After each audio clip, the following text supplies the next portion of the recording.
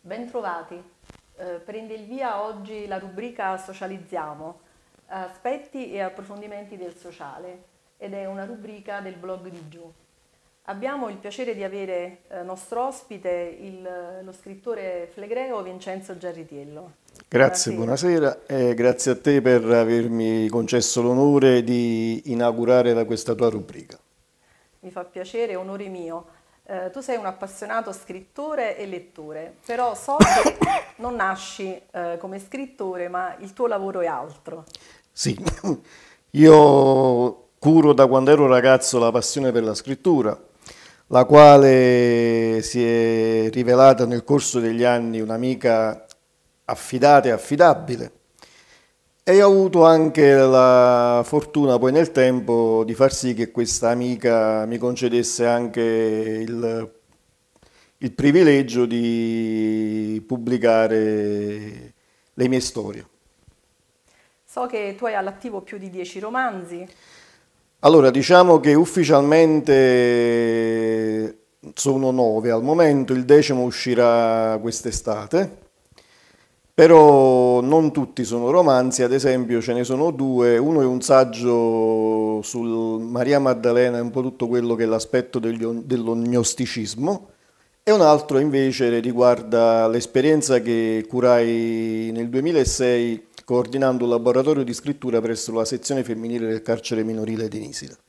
Quindi la tua esperienza nasce dal sociale? Come scrittore no, perché ho pubblicato la mia prima raccolta di racconti nel 1997 eh, con Tommaso Marotta Editore e si intitolava L'ultima notte e altri racconti. Dopo di quella nel 2000 pubblicai con le edizioni Tracce di Pescara un'altra raccolta di racconti, La Scelta, e poi venne un periodo in cui anch'io attivai nel lontano 2004-2005 un blog che tuttora esiste, La Voce di Caifa, oggi si chiama La Voce di Caifa 2.0, e non eh, mi dedicai più alla pubblicazione di quello che scrivevo a livello cartaceo. Poi Capitò che nel 2017, preparando, rifinendo la preparazione per la maratona di Firenze, caddi e mi ruppi la clavicola e fui costretto a rimanere a casa per quasi 15 giorni. Quale occasione migliore?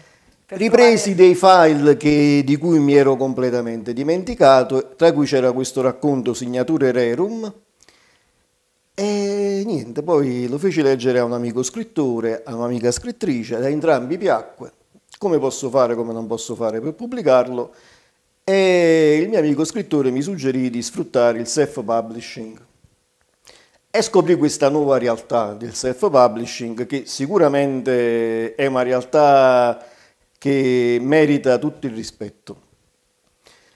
E così con il self-publishing incominciai a pubblicare Signature Rerum, ripubblicai la versione del racconto L'ultima notte, poi però successe che avevo un romanzo pronto, il, il ragazzo che danzò col mare, e lo feci leggere a un'amica scrittrice, alla quale piacque molto. E mi disse, Vince, aspetta, mandalo agli editori, le, mi piace, vedrai che troverai qualcuno che te lo pubblica. E lo mandai a palla a tutta una serie di editori.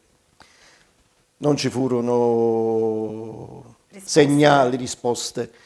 Poi due mi convocarono, uno voleva 1500 euro, un altro voleva 1700 euro. Ti hai visto su pazzo, ma, cioè, ma io se voglio pubblicare, deve, me lo devono pubblicare perché il racconto piace, non è che io devo pagare per pubblicare. E quindi ci misi una pietra, una pietra sopra con la decisione che lo avrei pubblicato anche quello con il self-publishing. Il 9 dicembre del 2019, non potrò mai dimenticarlo, ero appena tornato da un corso di formazione che stavo facendo alla regione perché avevo perso da poco il lavoro. Una telefonata, sono Maria Eugenia Miano delle edizioni Elico, noi abbiamo letto il suo racconto L'ultima notte ci piace. Allora il mio distinto venne, dice sì, a che condizioni?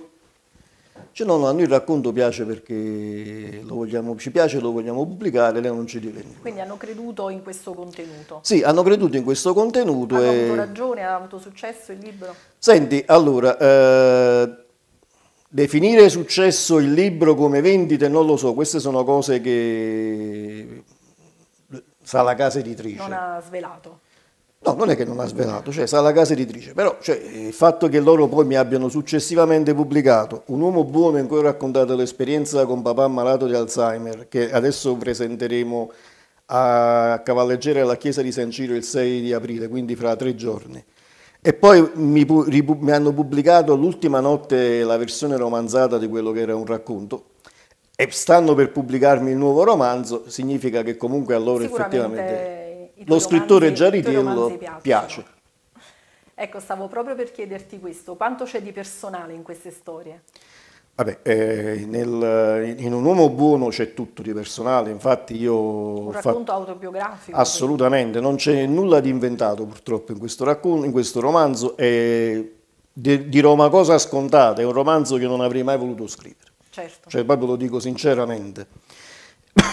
lo scrissi su indicazione di un amico il quale durante il lockdown uh, si facevano gli incontri online, le chat, sai, per stare un po' in contatto, certo. seppure in maniera virtuale, si parlava del più e del meno e ripetutamente io raccontavo, mettevo, in mezzo, mettevo sempre in evidenza questa esperienza. A un certo punto questo amico disse, scusa Vincenzo, ma tu ne parli sempre di questa, di questa esperienza che hai vissuto con tuo padre ma perché non scrivi un, una lettera a tuo padre, un racconto? Mi sembrava una cosa detta sinceramente fuori da ogni logica, io non mai avrei immaginato di poter scrivere una cosa del genere. Fatto sta che una mattina mi svegliai, come spesso mi capita, alle 4, 4 e mezzo del mattino, mi piazzai davanti al computer, in 5 settimane, eccolo qua, così come è uscito, così è stato pubblicato. L'ho scritto dopo dieci anni da quegli eventi e la cosa che purtroppo mi fa rabbia è che parlando con persone che oggi si ritrovano a vivere la, stessa, la nostra stessa esperienza, in effetti le problematiche sono rimaste quelle. Sono comuni. Sì, che in effetti quando si parla di Alzheimer eh, uno pensa all'ammalato, ma guarda che spesso con l'Alzheimer tu devi curare non solo l'ammalato, ma anche chi cura l'ammalato. Perché curare un ammalato di Alzheimer, così come curare qualunque ammalato che richiede un'assistenza 24 eh, ore su 24, e le famiglie si sfasciano.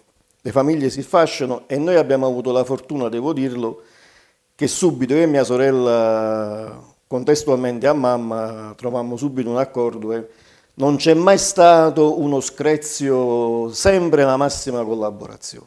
Condividevate lo stesso dolore d'altra parte? Sì, condividevamo lo stesso, lavoro, lo stesso dolore come lo condividono tante altre famiglie, famiglie che hanno la stessa disgrazia, vivono la stessa tragedia.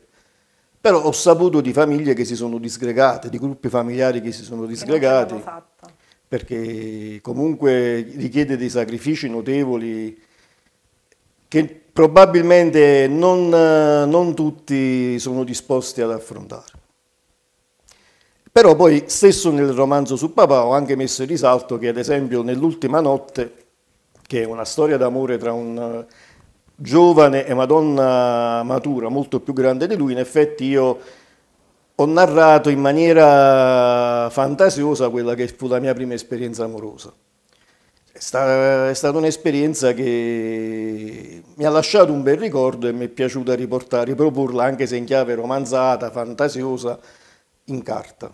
Questo ad esempio è un romanzo che a distanza di quasi 30 anni ancora oggi chi lo legge piace. Bene. E io capisco tutto quello che dici, io ho pubblicato soltanto due libri, però ho tanti scritti eh, perché scrivo anche io da quando ero molto giovane. E allora mi piacerebbe condividere con te anche un altro aspetto. Quanto è terapeutica la scrittura? Ah, moltissimo. Ma io per questo ho esordito dicendo un'amica affidata e affidabile. perché a me la scrittura mi ha aiutato ad affrontare momenti di solitudine in cui diversamente mm, non so come avrei fatto. Io quando da ragazzo, ma ancora adesso, mi vengono quegli attimi interiori in cui ti senti Sbandamento. interiormente sbandato, non dico depresso, ma interiormente sbandato, la scrittura è lì che subito mi tende la mano, io la afferro e camminiamo insieme. Fa venire fuori anche gli aspetti più intimi di noi, no? Ma assolutamente. Che magari con la parola non si riescono a Ma assolutamente, ma la cosa più bella, sai qual è? Che almeno a me è successo, ma probabilmente succede un po' a tutti quelli che scrivono, che raccontano, che si, si dilettano a scrivere o comunque lo fanno per mestiere. A me la cosa più bella è successa con l'ultima notte, ma anche con il ragazzo che danzò col mare. Chi li ha letti alla fine mi ha detto sei riuscito a trovare le parole a quello che io dentro non riuscivo mai a E non manifestare. riusciva ad esprimere. Molto bella questa Sì, questa è una cosa che a Per me uno scrittore è una grande soddisfazione. Ma assolutamente, questa è una cosa che quando me la, quando me la dicono io mi sento gratificato e E capisci che quella è la tua strada, sì, no? capisci È- che quella è la tua strada perché cioè, tu in effetti sei come tracci un solco su cui gli altri trovano una sorta di, di stabilità, diciamo così, di stabilità. E quindi in questa era digitale, no, in cui questi ragazzi, anche quando sono in gruppo, purtroppo non eh, riescono a socializzare, cosa possiamo consigliare a questi giovani? Allora, guarda, mi viene in mente la, la scena del film eh, Ricomincio da tre dove Troisi dice a Robertina, Yesh, tu che femmina. La scrittura ti porta ad, ess- a- ad isolarti. Per quanto riguarda la socialità, ecco, io penso che la cosa fondamentale è uscire, incontrarsi con gli amici, andarsi a fare una passeggiata, bere una birra, mangiare un panino. Oddio, io fra poco compierò 60 anni, quindi ho una visione completamente diversa da quella dei giovani d'oggi.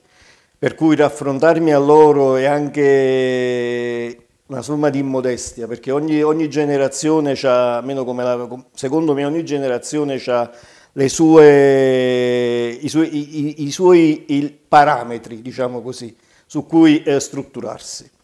La generazione di oggi c'ha il, il digitale, c'ha i social, per cui, certo, venendo da un mondo, tra virgolette, preistorico, io direi ai giovani, ripeterei ai giovani la frase di Troisi, Roberti esci, tu che film. Bene, allora eh, dove possiamo acquistare i tuoi libri? Allora, i miei libri si possono trovare sia in libreria, basta ordinarli, sia online su Amazon e su tutte le altre piattaforme di bookshop che esistono, Mondadori, Feltrinelli e quant'altro. Va bene, allora io ti ringrazio di avermi sostenuta durante questa prima esperienza e invito tutti a seguirci alla prossima puntata. Grazie.